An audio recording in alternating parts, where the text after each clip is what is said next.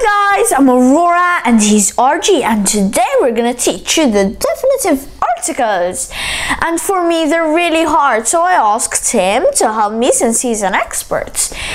So how do you feel Argy? Oh, he feels really excited.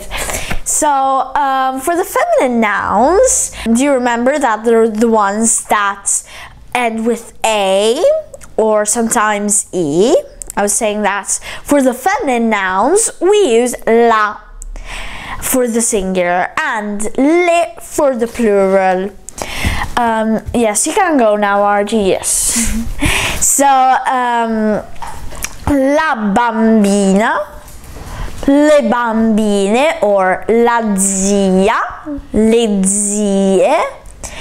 And when a word begins with a vowel, like A, E, I, O, U, you need to cut off the letter, uh, add an apostrophe, that's like a comma on top of the letter, and put the two words together.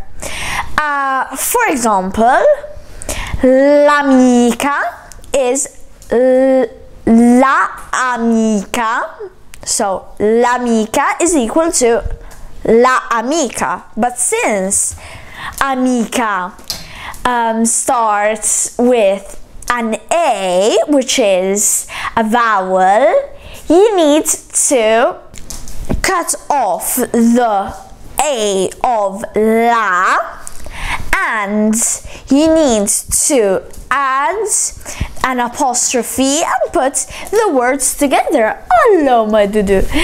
And um, so, so this was um, the feminine art uh, definitive articles and in the next lesson we will learn